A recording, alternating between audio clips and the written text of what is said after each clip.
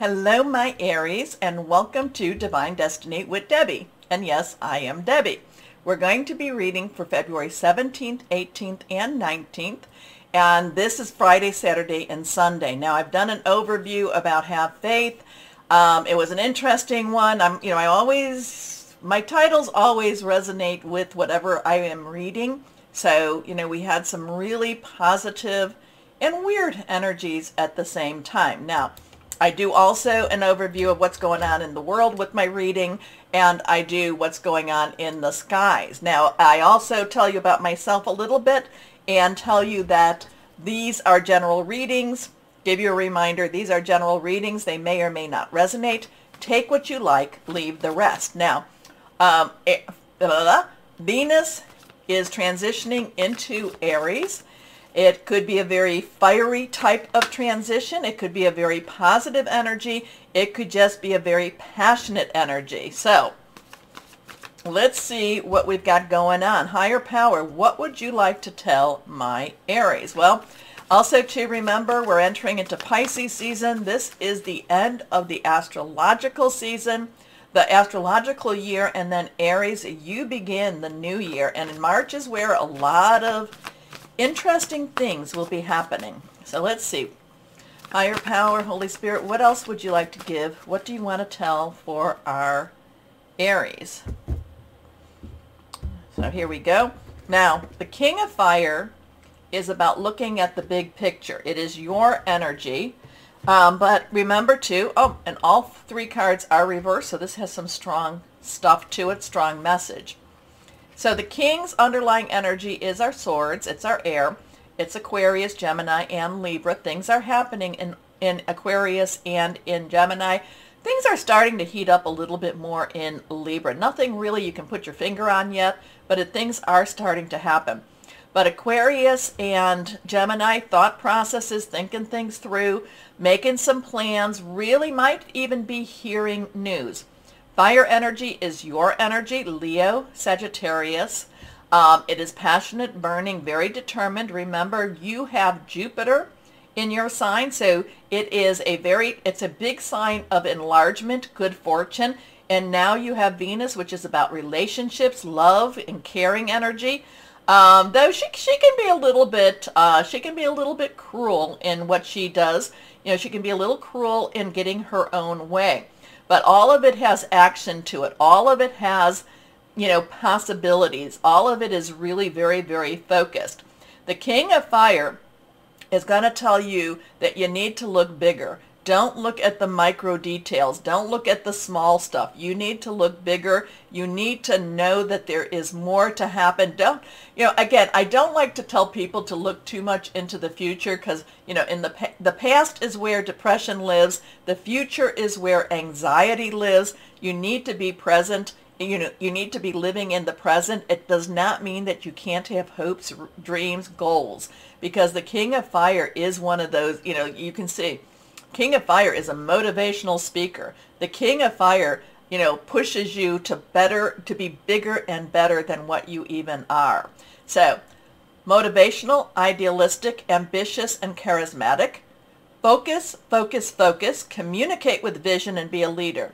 Advice from someone creative. The King of Fire is also looking at the bigger picture, okay? I do love, I don't really, you know, I do love how this king has subdued the dragon. I not I don't you know I don't necessarily know that he's you know he hasn't done anything to hurt the dragon, but he's riding the dragon. He is you know he is the one that's in charge. So it's been a while. Uh, you've gone back and forth a little bit with you know you know feeling confident and not feeling confident, then feeling confident. This is a weekend. This is you know this Friday, Saturday, and Sunday please, I hope that you feel confident in what you're doing and where you're going. There's a lot of confidence with this King of Fire.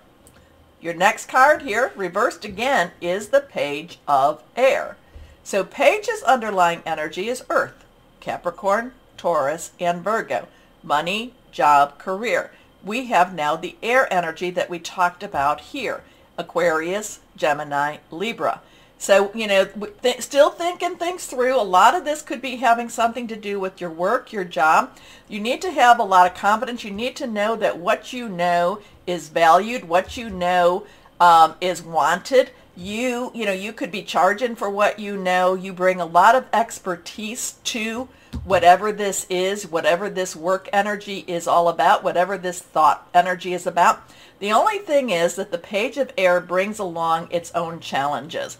It doesn't mean that everything is totally easy as you go through this weekend, but you should have, you know, really, really, um, you know, know that you have what it takes to get through whatever this is all about. This is not bad energy. It's just a little bit, it's like some roadblocks. And you've got you've got what it takes, my Geminis, to get over those roadblocks. You see your way through those roadblocks. You you know you're actually you're actually seeing your path that much clearer. So the page of air talks about logic, logical, honest, impulsive, and curious. So there's a lot of feminine energy with this one here. Challenging information, delays or change to plans, truth delivered without tact. Whatever this is all about, you, you know, there's like, there's like this total wisdom of getting through and seeing through. Okay, next card. The Eight of Air. Well, this is a breakout moment. This is a time for you to just let go of the shackles and just say, I don't want to be, you know, I, I don't want the strictures anymore. I don't want to be tied up anymore. I am breaking out. I am breaking free. So here we have this eight. Eight is unlimited opportunity, unlimited possibilities. Again, we have air energy. So you've got a lot of the stuff going on with, you know, Aquarius probably has to do with that Saturn that I've talked about. Mars in Gemini, you know, like again, Mars, Aries, Aries, Mars. And, you know, even the Libra energy. There is, you know, you're thinking things through, you're making your plans, things are happening. But, you know, have confidence because you've really, you have put a lot of energy in these next steps, whatever these next steps are for. And, you know, and so really this King of Fire is very well aware of what needs to be done. And then this Eight of Air is all about breaking through and breaking free. An illusion of being trapped. So if you're feeling trapped, it's all an illusion. A lack of self-confidence. Now, the king of fire is overcoming that, afraid to take action. But remember, the eight, unlimited opportunities and possibilities. And this supersedes a lot of this. Maybe you have been afraid. Maybe the timing hasn't been right. But now it just feels, you know, it feels closer and the timing could be very right right now.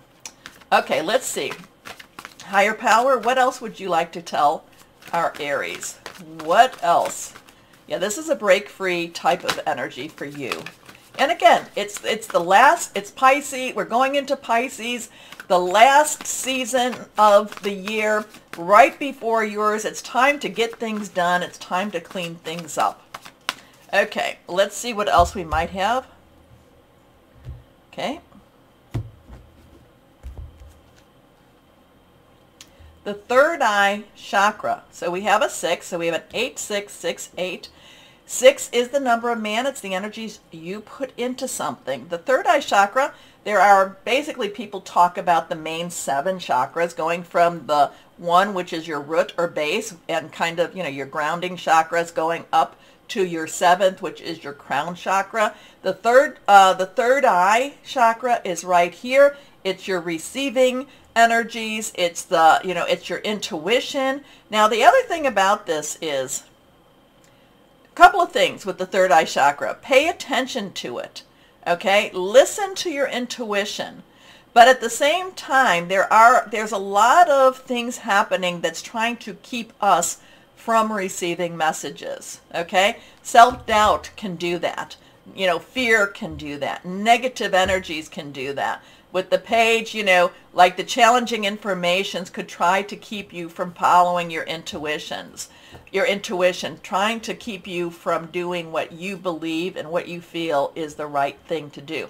But so, you know, that's also too, there's the pineal gland, you know, there's so much about how that's been calcified. There's a lot of information about how that has been blocked. So keep that, keep that opened.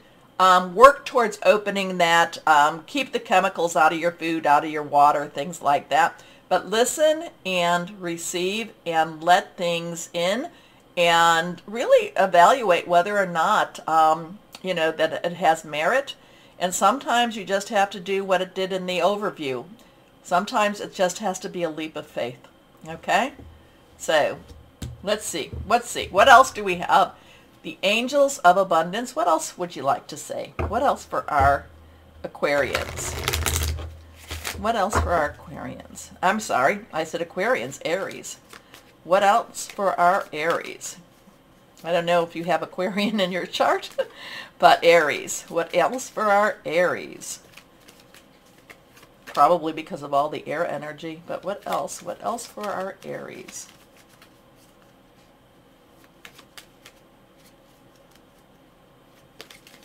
Or is it that Venus went into Aquarian?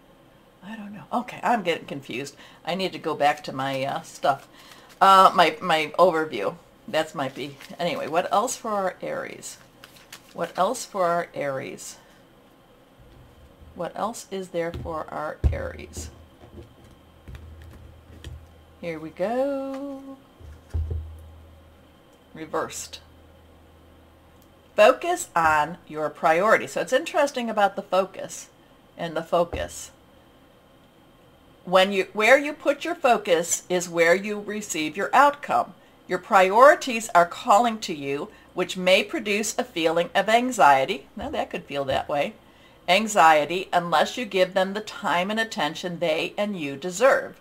Even a small amount of time devoted to your priorities will help you feel better and more confident. Well, that's an interesting. I don't think we've had this one come on. I do not remember seeing that dress before.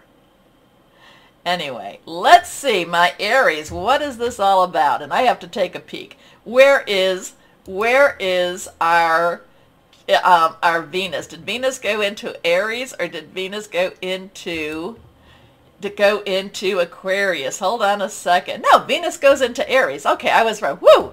Sometimes, you know, you, you just, when you're doing this and you're so open, you just start to think, what am I even thinking about? It's just let it flow, you know, let it fly through. Okay, let's see what we've got going on here. What crystal or energy do we have that would be good for our Aries? What do we have here? Again, it, you know, a lot of it, it's on focus. And, and if you're focused, it, again, this, this one I think really has a lot of, this one has a really strong message for you. Your focus is where you receive your outcome. So, okay, let's see what we've got. And that would make sense with the uh, third eye chakra too. Here we are. Moss agate, new beginnings, nature connection, animal allies, and security.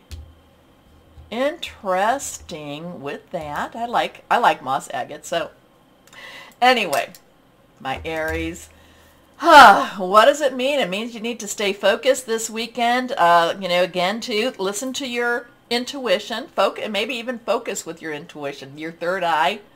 But your focus is your priority. Focus on your priorities. I like that. Okay, take a moment, please, to go down and like, share, subscribe, clicking on the bell for notifications. As always, though, my Aries, always know that you are loved. Stay shining and be blessed. Bye-bye.